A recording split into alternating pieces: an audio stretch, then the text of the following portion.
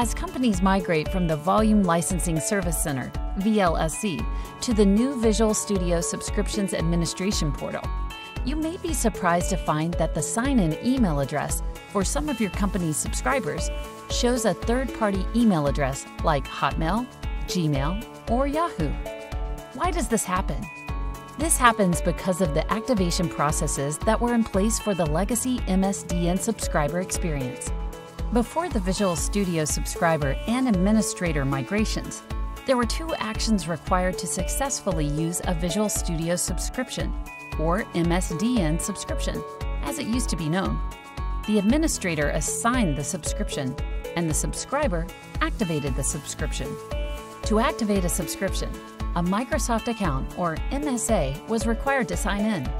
The subscriber could try to make their work account, such as Lottie at Contoso.com, into a Microsoft account, or they were free to create a new MSA with any email address.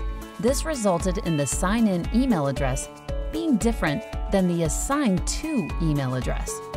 Why didn't I see this before? In the VLSC portal, only the assigned to email address was visible. During the admin migration, both the sign in email address and the assigned to email address were moved to the new portal. One of the features of the new admin portal is to provide more visibility into your company's subscriptions. This allows you to have more control over them, and in this case, showing you the email addresses your subscribers are using. How do I fix this? You have two options, including editing a single subscriber or several subscribers at once, and we'll show you how to do both. To edit a single subscriber, sign in to manage.visualstudio.com. Select the agreement that the subscriber is under. Search for the subscriber using the filter option.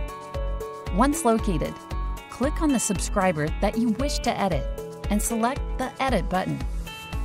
Update the sign in email address and click Save. If you need to edit in bulk, follow the same steps previously shown, but instead of choosing an individual subscriber, select Bulk Edit and then export the Excel list. Update the impacted subscribers in your sign in email address field in the Excel template and save it locally to your machine. Then, upload the new list of edited subscribers and click OK. Once you've made the changes to the sign in email address, your subscribers will receive an email letting them know to sign in using the updated email address. Something to keep in mind when you edit the sign in email address is that this only updates the email used to sign in to their subscription on my.visualstudio.com. If the subscriber has activated benefits such as Azure or Pluralsight using the other email address, they will need to continue to use those email addresses to access them. If you have any issues, please contact support